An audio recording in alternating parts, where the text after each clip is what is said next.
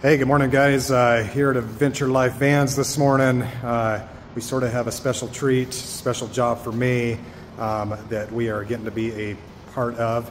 Uh, in front of you, we have a 2024 Bronco, Ford Bronco.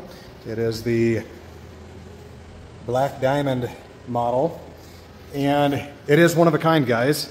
As you can see, it has a pop top on it. This is actually the prototype for a company in Portland, Oregon. Uh, it's actually called Ursa Minor. And then this is also the prototype vehicle for Goose Gear. These guys are out of Colorado. Uh, both of these guys are certainly more on the Overlander stuff. Uh, super cool rig. And what we are getting to do is actually the electrical system.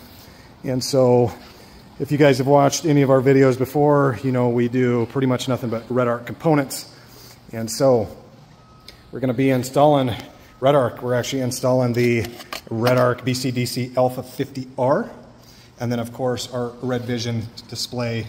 And we're going to install the Rogue in this one. This Rogue is pretty awesome. This is your distributor. It's just super small. It's only an inch thick.